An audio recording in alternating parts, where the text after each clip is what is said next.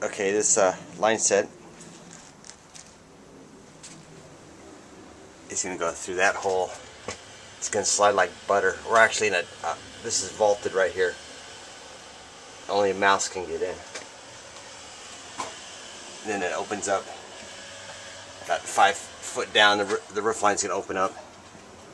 But we're going to shove that line in there.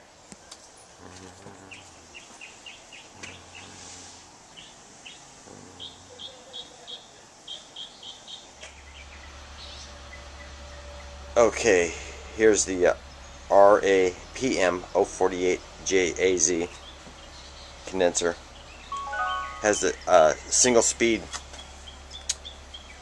ECM motor, which comes in your control box. Which this is a 230 for the uh, the ECM.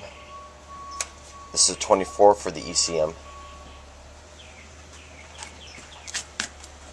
And then it has a scroll compressor with a crankcase heater.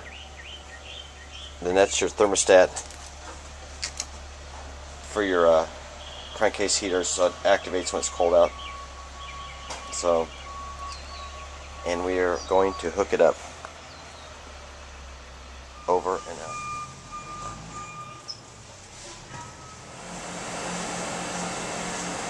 Here's the uh, RA